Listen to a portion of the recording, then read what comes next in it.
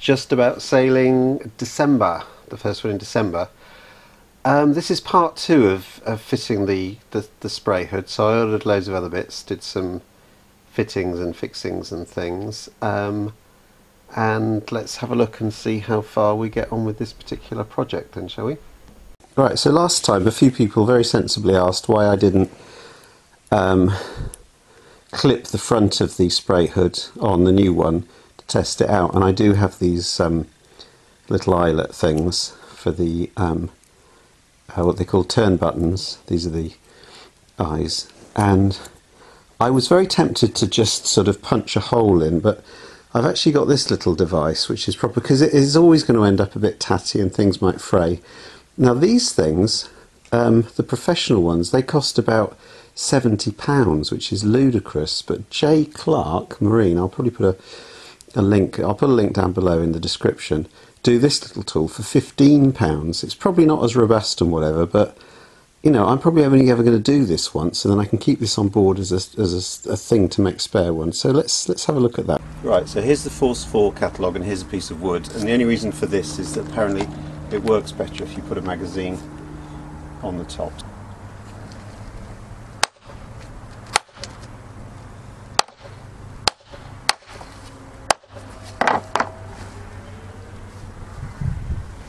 And yeah. Right, how hard did I hit that? Well, that went up to page 65, so I think a page 65 hit is plenty hard So these, these are these are proper marine grade little pins, not rocket science this, but I've not done it before. So basically, um, the hole is absolutely perfectly, beautifully cut out, and where the little leg things go in, they just slot straight in you can literally just kind of bend this over with the thing I'm sure that's good enough and that feels nice and tight. You've probably all switched off by now but I'm very proud of that. That's, that's it's just there's a satisfaction of, of doing a nice job and knowing that all the ends are kind of trimmed up neatly okay so slightly fortuitous change of plan I've actually found a frame on eBay and it was actually from the same person who sold the hood. Now when I first looked at it I thought it was nowhere and the sizes was nowhere near what I was looking for but lining it up next to the um, hoops that I've done it's pretty close. Uh, one problem is that the grab rail is actually welded on and I need to either cut the cloth which I'm not going to do or gently hacksaw these off.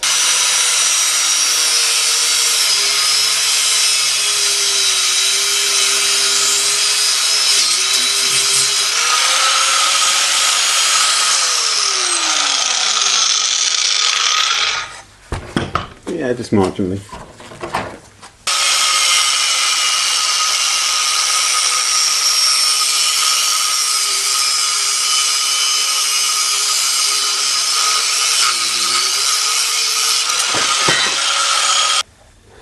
Spot the deliberate error, I just cut the wrong end off, I meant to cut there. That's a little bit like sawing off the branch that you're sitting on, isn't it? Oh well. As I always say on these videos, don't copy what I do. Alright, try and smooth these bits off. I, it's a shame that I cut that the wrong way around, but it doesn't really matter.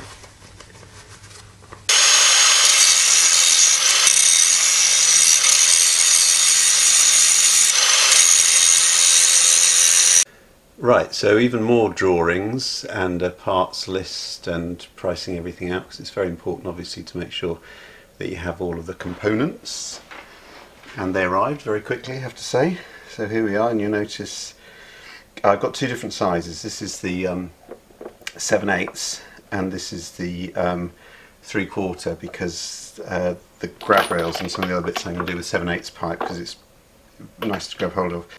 Okay, so what I'm going to do is I put the um, the fastenings to replace the other ones, um, as you can see. And I'm just going to fit the hood partially, um, just to get one of the measurements right. And the astute amongst you will notice that this is leaning up against a big green tank, which is actually a new water tank. The even more astute amongst you um, might notice that this says 107 litres. Now I did a a sort of a fitment video I was looking and I was very keen to get to 150 uh, litres. So, two very good reasons why I've gone for this particular tank and for 107 rather than, than 150. Um, so see if you can guess, but we'll, we'll cover that in a later episode. But in the moment, it's very useful for leaning things on. Right, so what I'm going to do is on the outside of here, there's going to be the grab rail going to... Actually, I'll tell you what, probably be easiest to look at this on the boat, wouldn't it? So, um, by the magic of video, I'm just going to press this little button and... Um, right, isn't green screen technology brilliant? So yeah, what I'm going to do is, that's plastic at the moment, just to, just to check out. Oh, look, sorry, the camera's right in the sun, which, so I can't actually see if I'm videoing. Um, so the idea is to have those those held up, then have another piece going from here to there, probably a bit lower down, but they will be on the outside and held off a bit. I can't do those because of the missing bits. Um, and what that means is that the um, the metal frame will be holding the whole thing up. So hopefully this makes sense. That's kind of attached up there and then down at the bottom and there's a a quick release thing that comes out there. These will of course be screwed down, they're just resting at the moment.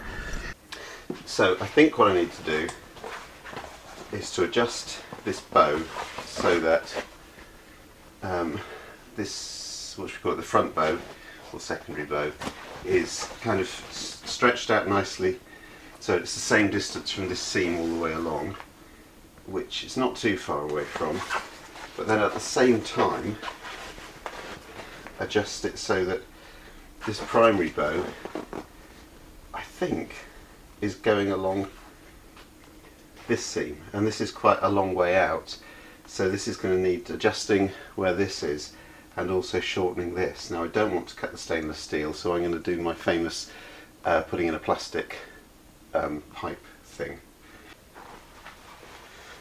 Now the nice thing about this this time is I do actually have the stainless tube so I can kind of make sure that the curves etc are, are pretty much spot on. And as you can see that's pretty much spot on. So um, I can now fiddle about to the hearts to my heart's content. Um, I can make this longer shorter slide it up and down and um, see if I see if I can get it to fit. Right, so lots of lots of fiddling, um, and something which kind of should have been obvious to me earlier, but it wasn't, is that where these two seams meet, um, seam coming here, seam coming there, that, that's kind of exactly where the hinge should go. Um, it worked out that way by kind of stretching it correctly, but that's fairly obvious, and I've done it the same on either side. So you can see here that that's where the seam is, and it's kind of all nicely lined up now, and I've got the um, the stainless secondary hoop on and put these these fittings on. This has only moved up a slight amount and that's only come in a tiny bit. As I say, very tiny changes make actually quite big changes on the fabric, something I really didn't understand properly. So what I've done, this is quite difficult to video, is I sort of prop this thing up on, on, on boxes. So this is not as taut as I would like it to be, but um, I've pretty much got the shape there and it's all sort of held up um, with faith and string. Um, here's the bit what I was saying, this, this sort of straight line, I think that should be more or less sort of parallel. Um, and I've got all the, the primary and the secondary hoops kind of in the right direction. And um, Right, a thought occurred to me that obviously I've been very lucky being able to get the um, the stainless piping and the, the alternative plan was to, to take one of these which I've modified with two different size holes, get the get the kind of shape and then get this fabricated. And that wouldn't have been difficult to do because there are places around the place that I'm getting to do my rudder stock for example. I'm sure they could have easily done this. Um, but originally I was going to instead of using plastic tubing I was going to use copper pipe. Uh, the problem with copper pipe is it tends to bend a bit sort of suddenly and, and quickly and it's very difficult to get the smooth curve whereas this follows a natural curve. and then it just occurred to me that actually what I could have done, and uh, who knows, in the future I might make a bimini, and if I do a bimini I shall use this technique, um, is to use this 15 millimeter fairly substantial pipe. You can you can use this for sort of hot water and in central heatings and stuff. Um, and put the copper pipe inside it and see if that gives a bit more sort of stability when you bend it because this tends to be a bit too flexible and you have to kind of tie it up with string and so on to keep the maintain the exact shape you want. So let's see if that's going to work. I'm not sure it's going to work or not. So here's the, here's the 10 millimeter copper pipe which comes in a sort of a tube. So I'm going to, I'm going to straighten a bit of this out, shove it in, in one of these pipes and see if that's, um, if that's actually an option. Right, so I've shoved some copper pipe through here and let's see how bendy this is and how well it sort of stays to shape.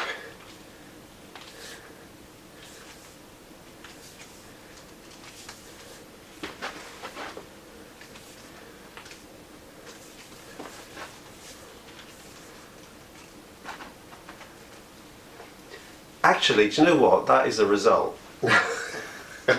Why didn't somebody suggest this in the first video? Um, that's fabulous because what you get here is you get the nice smoothness of the sort of, of the plasticity and it stays in shape. It's a little bit sort of sensitive because it's not finding its own shape but um, if I ever need to do this again and if I need to make up a sort of a pattern then this is what I will do because look you know I can let's start with that shape and let's say the bimini needs to be a little bit more sort of squared off and then flattened at the top.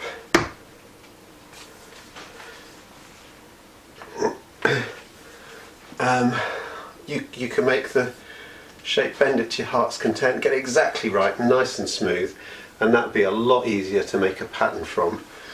Um, and this is 15 millimeter, and I've, I've the stainless is probably, I don't know if you can get thicker versions of this, you probably don't need it, but that would be very, very easy to make a, um, a pattern from. So yeah, isn't it nice when you get a good idea like that right at the end, nearly at the end of the job. But so I, I thought I'd just throw that in because that's um, something that occurred to me that should have occurred here anyway. Um, if anybody tries that, let me know. Let me know how it goes. So at that point, we're gonna we're gonna leave it there. There will be a part three to this, but um, the reason for not finishing off there's two. There's well, there's a few few reasons. One, um, I've had this most awful cold, which seems to have gone onto my chest, up to my head, and all over the place um, for the last uh, week or so. So I haven't actually been able to do anything. And now the weather's turned really nasty. We had 50 mile an hour winds today. Um, there's snow over the UK, and I wanted to get a new another video out before the end of December. So it might be some time before I, I get the next one out because the next stage obviously is to take. I've got the basic shape. I've got the hoops sorted out. Um, and let's put a little graphic up here. So what I can do basically now is I need to figure out how far up and down I can go um, and that will be dependent on, on putting the sail up on a calm day and actually measuring and making sure I'm not going to go too high because I want it as high as possible and then kind of backwards and forwards um, and there's not an awful lot of leeway in terms of tipping it front and back because I think the bottom bit needs to be kind of parallel um, and I'm sure the turn buttons are going to need to be changed and that's going to need painstaking some painstaking sort of adjusting stuff which I need a good day for. The other thing is I want to do, and let's have a look at these, I want to um, put in a, put this sort of hinge arrangement on the outside uh, for the grab rail and I haven't got the bits yet, they're, they're, they're on back order, the bits, uh, some of the other bits that I need for that.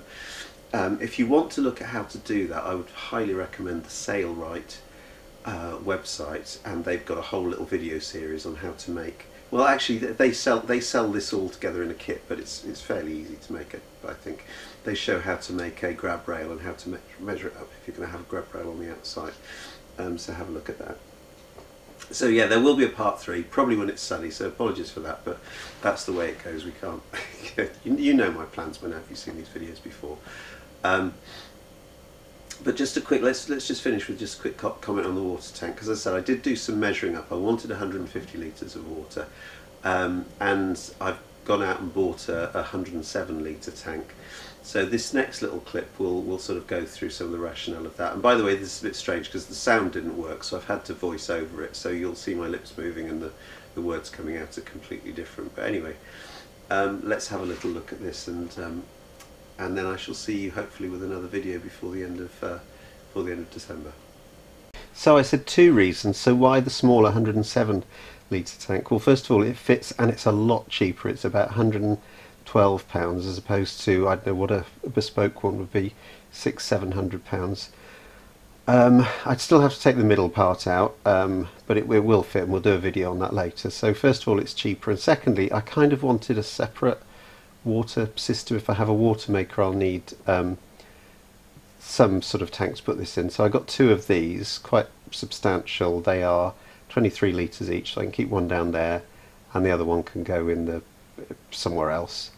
Um, and they're quite neat. They've got this little tap type thing. So I thought this is probably the best of, of both worlds. And anyway, we'll cover this in a later video. So it wasn't to be. It wasn't quite finished, but I think you can see um, where it's going to. And obviously the the next bit I will I will fit in at some point, but it probably won't be the next video.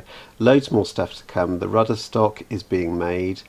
Um, windows are being ordered and obviously there's the water tank and so on to fit plus a few other bits and pieces. So let's maybe we'll get another one in December not quite sure. Maybe the Christmas special